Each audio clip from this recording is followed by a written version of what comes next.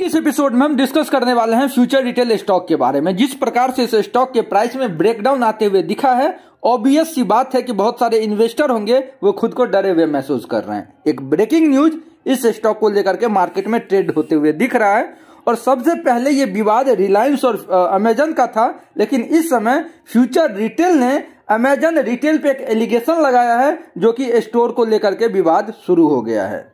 Future future detail ने रिलायंस पर जबरन स्टोर कब्जा का आरोप लगाया है और इस आरोप के न्यूज़ के ट्रेंड होने के बाद इस स्टॉक में आठ से दस परसेंट की गिरावट दिखी है।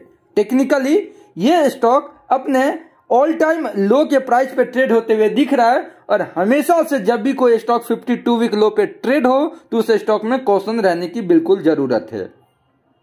वी कांट प्रिडिक्ट कि इसका लोएस्ट प्राइस क्या होगा। मैक्सिमम ये स्टॉक बीस रुपए तक के लेवल्स को भी टच कर सकता है। तो इसीलिए न्यूज़ के ट्रेंड को पॉजिटिव होने तक और इसके प्राइस को बावन के ऊपर जाने तक का आपको सियोरली वेट करना चाहिए।